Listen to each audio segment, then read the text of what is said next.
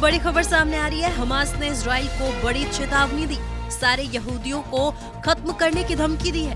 कहा, जब तक सारे यहूदियों का खात्मा नहीं कर देते, चैन से नहीं बैठेंगे। ये धमकी हमास ने ईरानी टीवी के ज़रिए दी है, जहाँ हमास ने ऐसे ही हमले करते रहने का ऐलान भी कर दिया है। एक बार फिर से आपको बता दें, हमास ने इसराइल को एक बड़ी चेतावनी दी है, जिसमें सारे यहूदियों को खत्म करने की धमकी दी है। हमास ने कहा है कि जब तक सारे यहूदियों का खात्मा नहीं कर देते, हम चैन से नहीं बैठेंगे। ये धमकी हमास ने ईरानी टीवी के ज़रिए दी है।